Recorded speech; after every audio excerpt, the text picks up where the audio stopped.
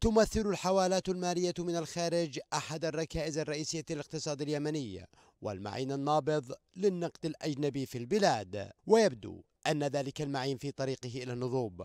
خصوصا بعد تعليق شركة ويسترن يونيون لتحويل الأموال إلى اليمن. قرار الشركة الأكثر تداولا وتعاملا مع التحويلات المالية يأتي لأول مرة بالتزامن مع صدور قرار وزارة الخزانة الأمريكية بشأن التحويلات المالية إلى اليمن مع دخول قرار الإدارة الأمريكية بتصنيف الحوثيين كيانا إرهابيا عالميا بشكل خاص حيز التنفيذ الجمعة الماضية. خبراء ماليون توقعوا أن تتخذ شركات تحويل الأموال الدولية مثل مونيجرام وغيرها إجراءات مشابهة بخصوص تحويل الأموال إلى اليمن. وبحسب الخبراء فإن هذه القيوس تضاعف بشكل عام الأضرار على العملة الوطنية والاقتصاد اليمني المنهك أصلا بفعل الحرب الممتدة منذ تسع سنوات. كما سيتضرر المستفيدون الذين يستلمون ويرسلون حوالات مالية داخل وخارج الجمهورية من قرار التعليق. وتمثل حوالات المغتربين أحد أسباب انتعاش الاقتصاد اليمني والأغلبية من الأسر اليمنية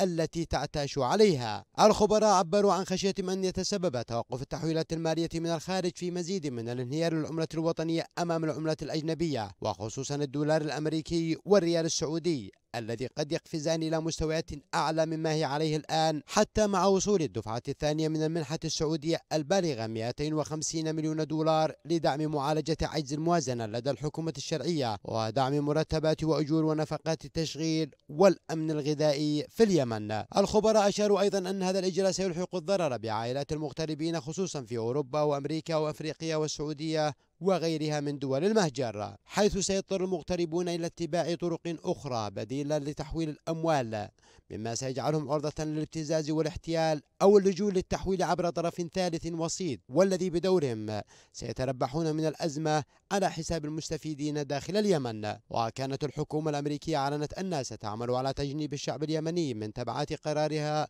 بتصنيف الحوثيين كيانا إرهابيا عالميا بشكل خاص.